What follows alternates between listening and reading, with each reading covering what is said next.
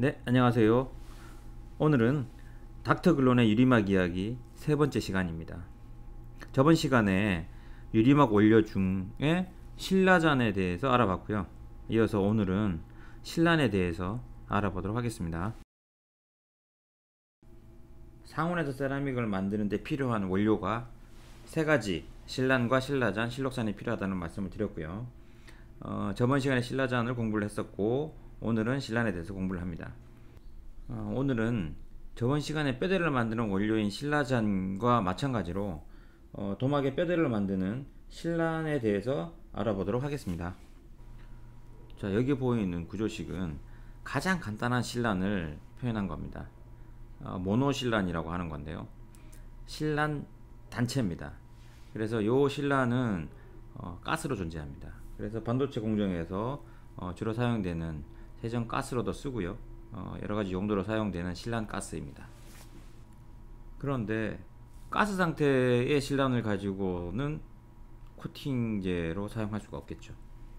그래서 약간 더 조금 더 복잡한 신란을 사용하게 됩니다. 자, 지금 보시는 물질이 MTMS라고 불려지는 물질인데요. 어, 메틸트리메톡시실란입니다.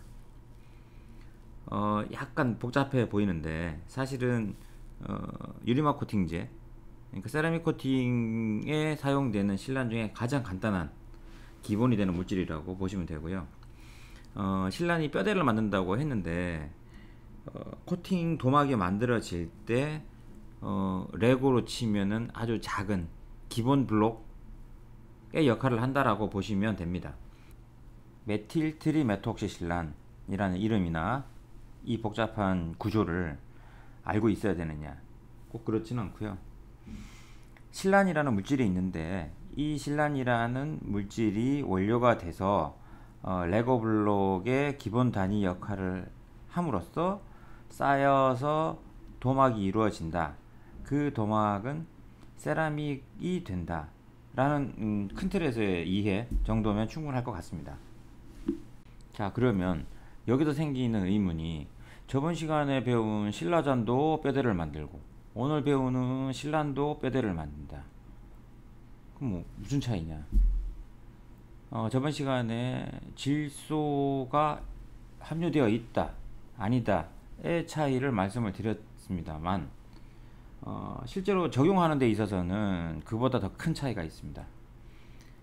그 신란의 종류나 실록산의 종류를 비교를 해보면 압도적으로 신란의 종류가 많습니다. 어, 원료의 종류가 많다는 의미는 여러 가지 물성을 가진 여러 가지 특성을 갖고 있는 물질들이 많다는 의미이기 때문에 어, 레고 블록의 뭐 모양이 여러 가지다 라고 이해하시면 되겠죠. 그래서 여러 가지 조합이라든가 구현하고자 하는 물성을 만들어내는 데는 종류가 많은 원료가 훨씬 유리하겠죠. 그런 면에서 신라잔에 비교하면 신란이 월등히 유리한 겁니다. 자, 지금부터 여기에 보여지는 것들이 모두 다 신란의 종류들인데 어, 여기 어, 한 줄씩이 각각 다른 신란의 종류들입니다. 엄청나게 많죠. 이 신란들이 구조도 다르고 성분도 다르기 때문에 얘네들이 가지고 있는 물성들이 다르다는 거죠. 그래서 특성이 다른 신란들을 어떻게 활용하느냐에 따라서 최종적으로 만들어진 어, 세라믹의 도막의 특성도 이 신란의 선택에 따라서 바뀌는 겁니다. 그래서 이 많은 신란 중에 어, 떠한 신란을 쓰느냐는 것이 사실은 상당히 중요하고요. 지금 여기 보시면은 그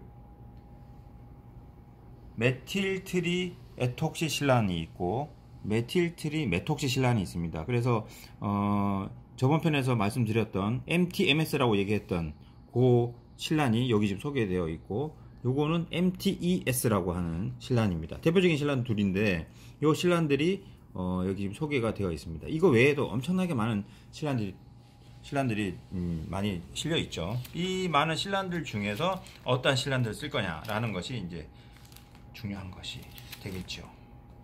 엄청나게 많습니다. 여기도 있고.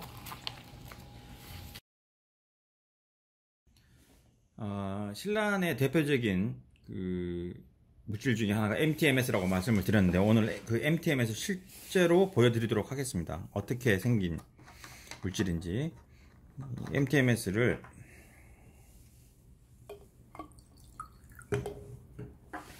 보시면은 어, 아주 맑고 투명한 액체죠. 실란이 이렇게 생긴 겁니다. 이렇게 생긴 실란인데 음, 냄새를 맡아보면 우리가 유리막 코팅에서 어, 항상 맡던 익숙한 그런 냄새가 납니다. 자 그런데 이 실란을 코팅을 하면 유리막이 된다고 했으니까 한번 코팅을 한번 해보도록 하겠습니다. 자 이건 철판이고요. 자 여기다가 MTMS를 코팅을 하면 자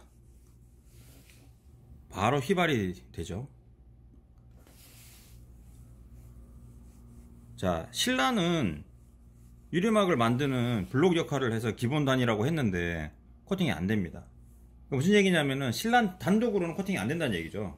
그래서 신란을 어, 어떻게 해야 도막으로 변화가 되는지는 차차 설명을 드리도록 하겠습니다. 자 오늘은 어, 신란에 대해서 알아봤는데요. 이 신란이라는 물질은 유리막, 다시 말해 세라믹 코팅 도막을 만드는 기본 단위의 역할을 하는 물질이고 그 물질의 종류는 어마어마하게 많다. 그 종류에 따라서 여러 가지 물성, 특성을 만들어낼 수 있기 때문에 졸결 기술의 다양한 기반이 되는 물질이다. 오늘 실란 설명은 여기까지 드리고요. 어, 다음 시간에는 어, 실록산에 대한 설명을 드리도록 하겠습니다. 수고하셨습니다.